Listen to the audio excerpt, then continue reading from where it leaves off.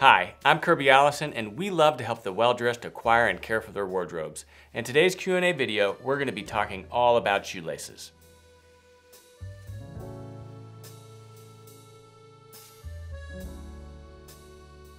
Thank you for all your comments and questions that you guys have posted on our YouTube channel.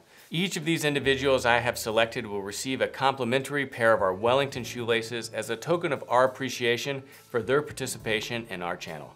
And remember, if you have any comments or questions while you're watching one of our videos, please ask them in the comment section below. And if you enjoyed this video or are interested in any of the products we discussed, please visit our website, hangerproject.com where we've curated the finest collection of luxury garment care and luxury shoe care accessories in the world, as well as other products for the well-dressed. Our first question today is from Nothing Master on our How to Tie Dress Shoes Using the Berluti Knot video, and it reads, Knot theory is the study of mathematical knots. Believe it or not, in its inception it was inspired by knots that appear in shoelaces and ropes, but the mathematical knots differ from the shoelace ones and that the ends are joined together, for example in a ring. Talk about never having to worry about them becoming undone. So Nothing Master, a great comment. Thank you for leaving that uh, on our video. And it's really interesting to just think of the historical significance of shoelaces and just ropes in general. I'm, I'm an avid sailor, I love sailing, and anyone that's spent any time sailing knows that one of the first things that you learn when you learn to sail is how to tie proper knots. They're so important just in terms of safety and convenience. And really, shoelaces uh, and shoes have been around for a long time. And it's no surprise to me that volumes of books have been written on shoelaces and how to tie them properly. Here at Kirby Allison, of course, we take tying shoelaces very seriously, and that's why we've got two videos dedicated to the subject. One is our video on the Berluti knot, which I show here. Uh, it was shown to me by uh, a friend of mine who's a dear close friend of Olga Berluti. Uh, she taught uh, his father how to tie his shoes using the Berluti knot, and he taught his son, my friend, how to tie his shoes using the Berluti knot. And it's an absolutely incredible and beautiful double knot. Not only does it lie flat, but it causes the laces ends to really uh, kind of curve down the shoe. And as you can see, it just really controls the shoelace more than your average shoelace knot. And the most important thing is that it's a double knot, so you never have to worry about your shoelaces becoming untied. But we don't stop there. We also have the Parisian knot video, which goes into another method to tie your shoes uh, that is a, a, little bit faster to tie and a little less clumsy than the Berluti knot uh, and still achieves that same double knot effect. So you don't have to worry about your shoes coming untied at the end of the day. If you're anything like me, you were never taught how to tie your shoes uh, any other way than the way your parents taught you how to do it as a child. So until I learned the Parisian knot and the Berluti knot, I went through life tying my shoes the same way that I was taught as a child and constantly having to retie my shoes throughout the day. And I promise you that with the Berluti knot and the Parisian knot, that is no longer the case. And actually, our Berluti knot video is our most popular video on the entire channel with over 650,000 views. So if you haven't watched that video and you're watching this one today, promise me that the next video you watch is how to tie the Berluti knot. Our second question today is from Dylan, and it reads, Another great video, Kirby. Uh, I've gotten more friends interested in dressing well because of your videos. Quick question, what is the difference between your Wellington and Sovereign grade shoelaces? Uh, Dylan, uh, great question. Thank you for your comment, and more importantly than that, thank you for recommending our videos to your friends. Here at Kirby Allison, we are passionate about helping the well-dressed learn about traditional craftsmanship and quality, uh, and helping them learn how to take care of quality because it's our belief that if you know how to take care of quality items, then you can afford to invest in quality. And so that's the whole entire thesis of this channel. So thank you for helping spread that message. So sovereign grade represents our highest quality standard here at Kirby Allison's Hanger Project. So the idea was that as we traveled the world and we had the opportunity to meet all these incredible artisans, you know, we inevitably found that in the back room or the longer you got to know them, they'd always reveal something else about how they did something. You know, maybe it's not available to everyone, but at a much higher quality level or standard than what is uh, commonly available. And so the idea between, uh, behind Sovereign Grade is that when we you know, met these, uh, these artisans and developed the relationships, that we would have them do very special items just for us under the Sovereign Grade name to the absolute highest quality standard. And the idea is all the quality that matters and none of it that doesn't. So you'll find that with our Sovereign Grade brand, that it really represents the substance of what quality is, uh, with none of the bells and whistles that unnecessarily drive the price through the roof. So you're not gonna find anything that has you know, frivolous, uh, delicate details that are expensive to make. Instead, you're gonna find items with substance and with quality and integrity that are made by some of Europe's best heritage manufacturers uh, to the absolute highest quality standards just for us. And the whole point is that the items will last a lifetime. Now the Wellington brand is our brand of our shoe care accessories. As you guys know, uh, I've been shining shoes for uh, years and I'm passionate about uh, shoe care and shining shoes. So Wellington were those items that just didn't exist, but I really wanted to have to use for myself. So that's really kind of where the Wellington idea came from. And so, you know, you'll find uh, on hangerproject.com that we have a wide, uh, a very large collection of Wellington shoe shine brushes you know, made exclusively for, uh, for us. I spent, uh, you know, two years finding a manufacturer uh, and really building out what is a very large, cohesive, and coherent collection of some of the best shoe shine brushes in the world. And they're not ridiculously expensive. They're really reasonable in price, especially whenever you consider how well they're made, exactly to my personal specifications. And the same is true for our shoelaces. Our new Wellington shoelaces, you know, really came out of a frustration of mine of just how impossible it was to find the same quality shoelaces that I was receiving on my bespoke shoes. And so I worked with my friends in the bespoke shoemaking industry to find out exactly who they used to make their laces and how they had their laces made. And that is really how the idea uh, for our Wellington shoelaces was born. Now it started out as sovereign grade, but as kind of the concept of Wellington has further developed, we're now making all of our shoelaces under the Wellington brand. And I can say unequivocally that these are the exact same quality of shoelaces that you would get on a bespoke pair of shoes. And we have the widest, largest collection of luxury dress shoelaces available anywhere in the world, not just in styles, but in lengths uh, and colors also. And so one of the things that many people don't understand about dress shoelaces is that it's often one of the simplest way to improve the look of a pair of shoes. I mean, of course, uh, other than polishing them. But you'll see even a nicely polished pair of Allen Edmonds, that can look great. But if you have the cheap factory laces that come on those shoes, for some reason, just the finesse is still lost. And so with our Wellington shoelaces, we have them all made for us exclusively in Northampton, you know, by the preeminent supplier of dress shoelaces to the Northampton shoe trade and bespoke makers. And they are the absolute highest quality, 100% uh, cotton, really finely woven, very strong, uh, beautifully waxed, uh, and uh, great shoelaces. So I love shoelaces. It's been kind of a personal pet project of mine to really uh, ensure, if not guarantee, that we have the largest collection of luxury dress shoe laces available anywhere in the world. And if you haven't checked out our Wellington shoelaces, I encourage you to do it. You know, make sure you uh, make comments or ask questions on our YouTube channel because everyone that's selected uh, for these Q&A videos is gonna receive a free pair uh, of our Wellington shoelaces. Our third question today is from Joyce Ireland. It is on our uh, how to tie dress shoes, the Parisian knot method, and it reads, Kirby, I love your videos and your awesome production values, not to mention your fabulous products. Thank you, Joyce. Uh, I've been tying the Parisian knot for years. It is great for round shoelaces. The extra twist around the first loop adds just the right amount of friction to keep the knot secure.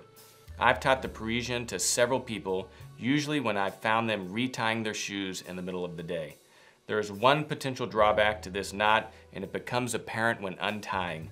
If a loose end accidentally threads through a loop, then tugging that loose end will result in a tangle that has to be carefully unpicked.